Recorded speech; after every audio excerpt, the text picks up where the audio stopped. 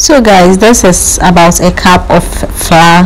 So i'll just add a teaspoon of baking soda and then a teaspoon of yeast and then mix it.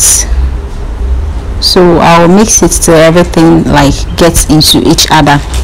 So that's what you're seeing me do. I'll mix it thoroughly so that everything then I'll now add please use clean your clean hands because I washed my hands already before mixing this because most definitely you need to keep your hands clean before you do things like this. So guys I will keep mixing till I get the texture I want.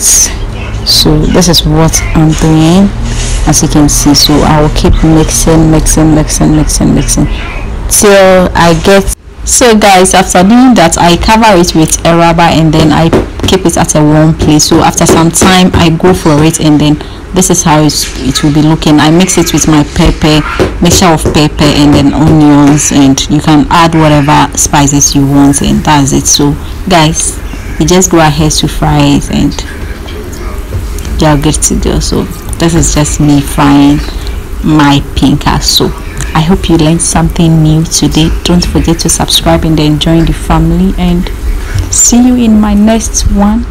So guys when it turns brown i then flip it over so that the other side can cook too.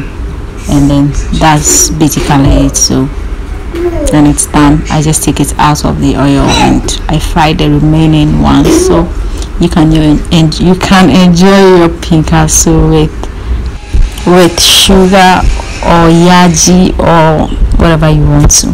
So that's just it.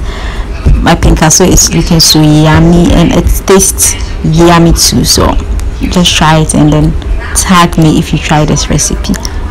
Thanks so much for watching. I think this is the hundredth time i'm saying thank thanks so much for watching and then subscribe to my channel. So i have my pinkaso looking all yummy